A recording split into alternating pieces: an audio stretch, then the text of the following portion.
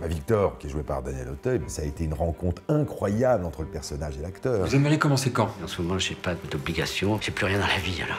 Euh, Daniel euh, était très habité. Je l'ai vu à son implication, attentif toujours à- au fait que je sois content. C'était un jeune acteur sur ce film-là. J'aimerais beaucoup que tu m'embrasses avec ta bouche.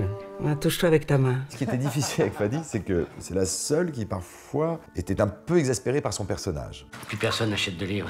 Personne n'achète tes livres. Elle l'a trouvé trop dur. Je n'ai cessé de lui dire non, euh, ça n'est jamais de la méchanceté. Le personnage de Daniel est dans l'envie euh, de paix et de légèreté retrouvée. Fanny, elle, elle reste dans le présent parce que c'est la peur de crever. Je te jure, je vais partir. Mais j'attends que ça. Je n'ai pris que des acteurs pour qui j'ai de l'admiration, donc c'était très bouleversant. Tu me manques. Vraiment? Coupé